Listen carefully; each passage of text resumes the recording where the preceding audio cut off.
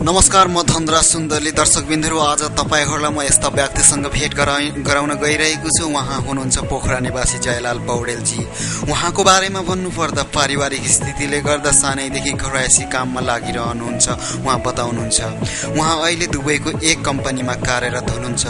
त्यस कम्पनीमा काम गरे तापनि खाली रहेको समयलाई राम्रो सदुपयोग गर्नुभएको छ। सो कम्पनीमा उहाँले आफ्नो घरमा घरमा काम लाग्ने सामग्रीहरू बनाउँदै हुनुहुन्छ। आउनुहोस् उहाँसँग कुराकानी गरौँ के बनाउँदै हुनुहुन्छ? कि तपाईँ विदेश बस्न थाल्नुभयो। तपाईँले यो सम्पूर्ण कुराहरू हाम्रो दर्शकबिन्दुहरूलाई बताउन सक्नुहुन्छ। भाइ दिदीबहिनीहरू मेरो चाहिँ नि मेरो चाहिँ नि यो इन्टरभ्यूमा संलग्न हाम्रो चाहिँ नि पाल्पा तानसेनको धनराज भाइ हुनुहुन्छ। र उहाँलाई म धेरै धेरै चाहिँ नि मेरो कामको बारेमा उहाँले इन्टरभ्यू लिनुभएकोमा धेरै धेरै खुसी लागेको छ। र म उहाँलाई धेरै धन्यवाद दिन चाहन्छु र साथीभाइ विदेशमा रहनुभएका सा साथीभाइहरूमा म के भन्न चाहन्छु भने म पहिलो प्रथममा सत्ताइस सालको उमेरबाट म विदेशतिर लागेँ र पहिला म कतारमा गएँ र म अनि त्यहाँबाट त्यसबाट अहिले म यहाँ दुबईमा आउँदैछु र मेरो गाउँ कास्की जिल्ला गण्डकी अञ्चल पोखरा र चापाकोट गाविस वडा नम्बर सात गाउँ अक्सुल चौर पर्छ। र मेरो दुई छोरा एक श्रीमती र आमा हुनुहुन्छ। बुवा उनासी वर्षको उमेरमा बित्नुभयो। र बुवा अहिले बुवा बित्नु भएको अहिले चार वर्ष पाँच वर्ष जति यस्तै भयो। र म यो पहिल्यै सानै उमेरदेखिबाट नै यो कामको बारेमा अति नै ध्यान दिने। अब पढा त पढ्न त पढिएन अब घरको स्थिति त्यस्तै भएको कारणले अब पढ्नको लागि त्यति अ, चान्स मिलेन र दुई चार क्लास पढेर अनि त्यहाँबाट घरकै अनि कुटो कोदालो दोकान नामलाई स्याकु चुया कोत्रा यस्तै उस्तै अब बुवाले सिकाउनु हुन्थ्यो र यस्तै यस्तै तरिकाबाट आफ्नो गुजारा गर्दै सत्ताइस अट्ठाइस वर्षसम्म गाउँघरमै बिताइयो। त्यसपछि विदेशतिर लागेको अहिले दस एघार वर्ष भयो र मलाई यो गाउँघरको काम धन्दाहरूमा साह्रै नै संलग्न साह्रै दिल छ। त्यस कारणले मैले अब अत जयलाल दाजु तपाईँले नेपाली दाजुभाइ तथा दिदीबहिनीहरूलाई तपाईँले आफ्नो मनमा लागेका केही कुराहरू भन्न चाहनुहुन्छ? धनराज भाइ मैले अब के भन्न चाहन्छु भने सबै नेपाली दाजुभाइ तथा दिदीबहिनी बुवामाहरूलाई कहीँ गएर पनि कुनै पनि देशमा गएर आफ्नो देशको संस्कृति नबिर्सौँ अन्त्यमा मैले चाहिँ नि सबै नेपाली दाजुभाइहरूलाई यही भन्न चाहन्छु। र समयको सदुपयोग गरौँ र समयलाई भोलि भनेर पर्सि भनेर खेर नफालौँ। यही चाहिँ मेरो अनुरोध छ नेपाली सबै दाजुभाइहरूलाई।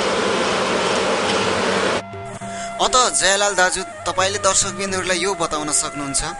लगभग दस वर्ष विदेश बस्नुभयो बाँकी समय परिवारसँग रहेर हाँसी खुसी गाउँठाउँमै बिताउन चाहना छैन।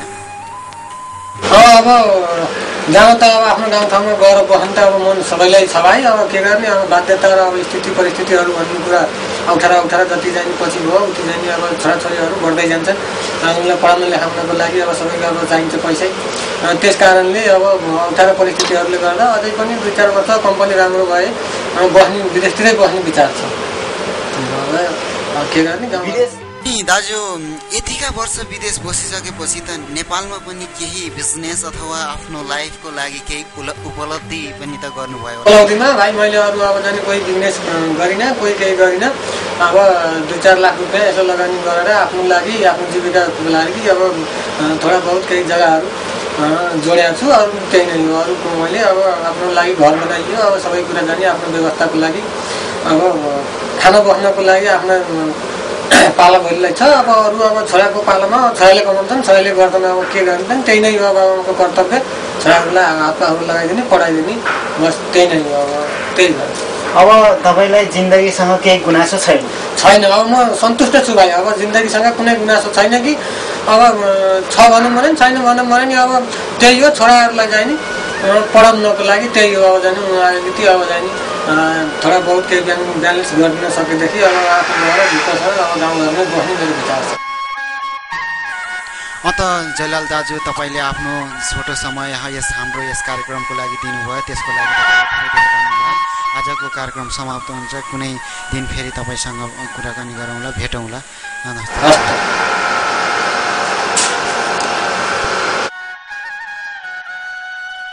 अत दर्शक बिन्दुहरू आजको हाम्रो यस इन्टरभ्यू कार्यक्रममा पोखरा निवासी जयलाल पौडेलजी हुनुहुन्थ्यो। उहाँको उहाँको जीवनको बारेमा बितेका जीवनका बारेमा सम्पूर्ण कुराहरू तपाईँहरूले जानकारी प्राप्त गरिसक्नुभयो। सक्नुहुन्छ भने तपाईँहरू पनि जयलालजी जस्तै कामलाई ठुलो सानो नभनिकन आफ्नो कामलाई निरन्तरता दिने गर्नुहोस्। भन्दै म यस आजको कार्यक्रमबाट म धनराज सुन्दली यस कार्यक्रमबाट बिदा हुन चाहन्छु। हस्त धन्यवाद। Yeah!